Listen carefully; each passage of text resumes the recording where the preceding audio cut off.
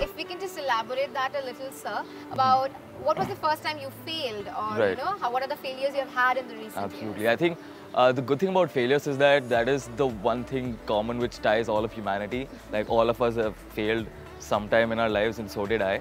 Uh, obviously, we've all failed in school and multiple things, but the biggest or the first real failure that I encountered was when I had to cl- uh, close down my first startup, which I had started right when I was in first or second year of college, which was an e-commerce market aggregator called Seleazy.com.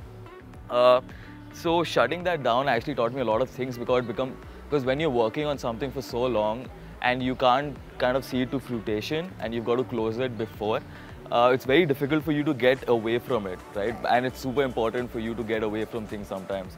So when I had to, when I finally decided to take the decision of shutting down Seleazy.com, and that was kind of my first real failing experience, uh, there was a lot of things that I went through, right? Because obviously, uh, when you fail, it's not just you who are affected, but there are people around you who are affected as well, which kind of affects you more. So the environment plays a major, major role.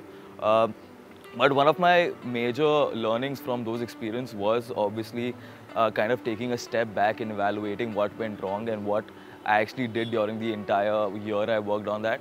So whenever someone failing, my top biggest or my biggest learning out of failing is kind of to take a step back in life at times and just kind of introspect and think about what went wrong, what went right, what you could have done better, what you should have done, what you shouldn't have done. So that really helps you, right?